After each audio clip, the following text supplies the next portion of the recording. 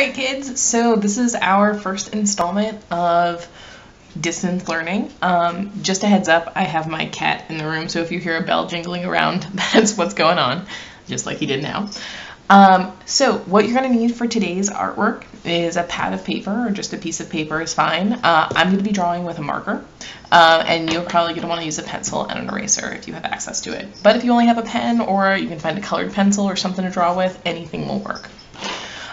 So what we're going to work on today is drawing a picture. This picture could be anything. It could be um, what you're doing, things around your house, um, a still life, meaning um, maybe like looking at a bunch of pencils together or your workstation where you've been learning. Um, the other thing that we're going to be working on is using that drawing to get a family member or a friend to be able to recreate it. So before we get started with the actual drawing, I want to give you some helpful tips on how to be successful with this artwork and how to actually teach someone else to draw that piece of artwork.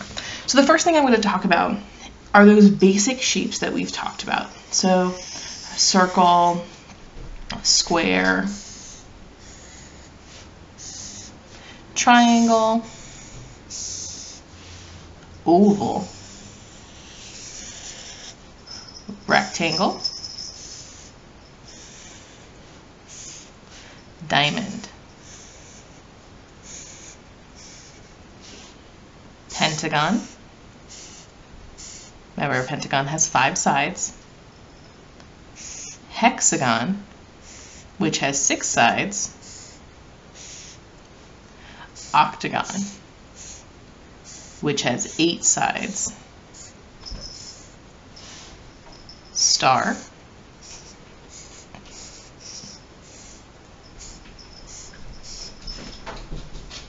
heart, and finally crescent. So you can use any of these shapes to help describe what your artwork looks like to your family member or your friend. So that's a really good starting off point. So our next thing is going to be drawing your actual picture. So when you're thinking about your artwork, and I'm going to flip over my page here so you guys can see what it is that I'm doing.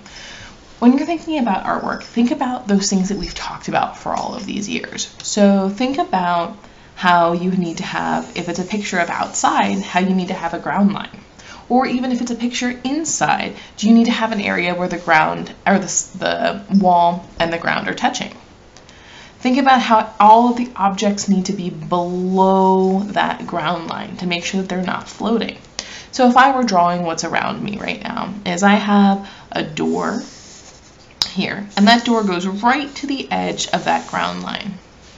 But anything inside of that ground line, I'm going to draw all those little details using a square on top. And then my door has long rectangles on it. And then other long rectangles. And when I'm describing this to someone else to draw, I could say, there's a door in my picture. It's on the, the right side of my picture. It's above my ground line. In the door, there are two squares on top. There are four rectangles. They're in lines of two, using those math terms that you know. Then other details to draw my picture. On the ground right now, there's a big bag that had all of my art supplies in it. And then that bag goes down. And I'm really looking at what I'm drawing. This is an opportunity for us to draw from life, to draw what we're really seeing. So I'm going to draw the bottom of the bag and how the bag has really long, thick handles and how those handles are on both sides. And I'm not worried about erasing here. If I make a mistake, I'm just going to keep drawing because that's what I want to do.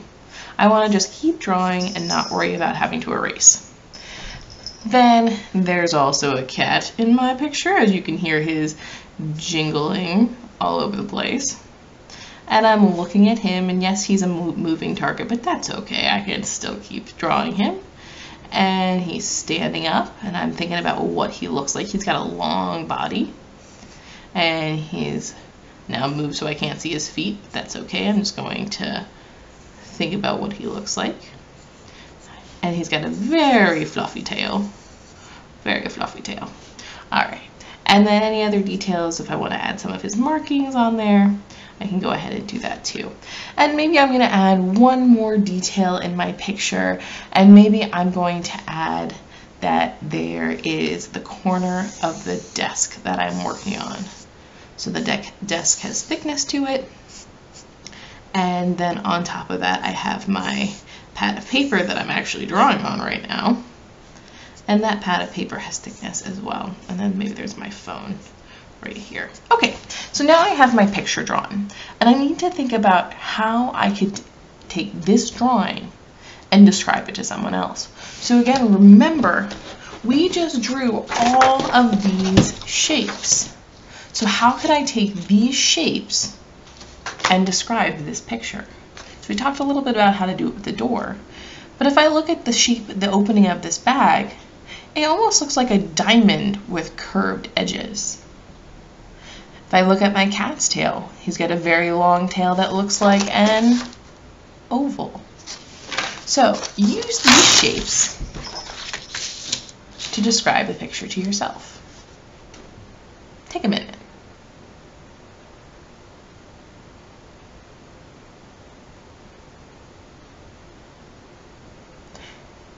Now, go ahead and draw your own picture. Don't forget, when you're describing it to someone else, use your shapes.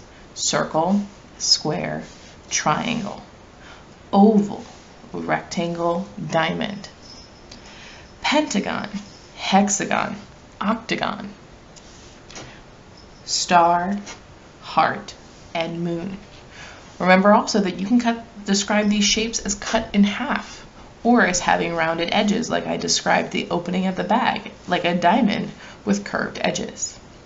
All right, my people, have fun. I'd love to see pictures. You're welcome to email them to me. Talk to you soon.